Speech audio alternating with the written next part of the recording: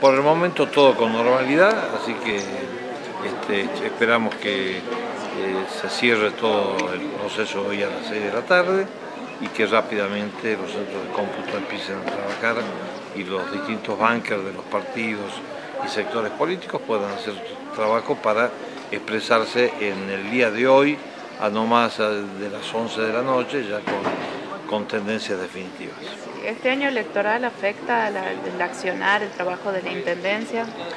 Bueno, digamos que siempre los procesos electorales alternan un poco esa, esa situación de la ocupación de dirigentes, que también muchos son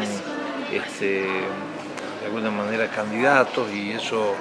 creo que no le hace bien al sistema en general. Las elecciones creo yo que deberían ser más distanciadas, y evitar este, bueno, todo esto que es eh, una cuestión que creo que a la gente la crispa de, tantas votaciones. No es lo del año pasado, donde en algunas localidades se votaron cerca de 14 veces.